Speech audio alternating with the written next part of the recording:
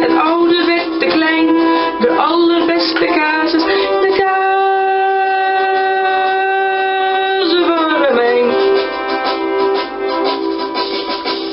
Wij zelf kazen staan elke dag weer vroeg op. Dan melken wij de dieren, daarna staan we aan de top. De melk wordt verwerkt en dat doen we met plezier. Hoe dat proces geschiedt, dat vertellen wij u hier.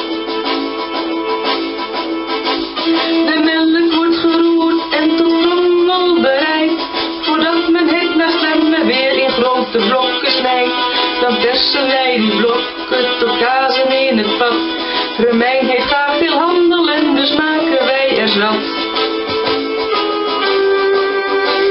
En bovenop de planken rust ons.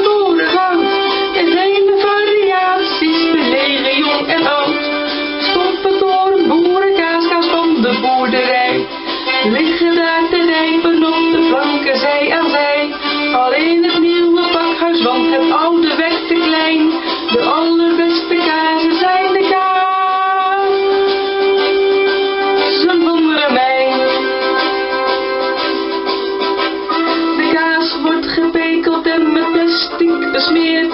En moeten al die kazen ook zo nu en dan gekeerd. In rust liggen te rijpen totdat ze mogen gaan. Naar het nieuwe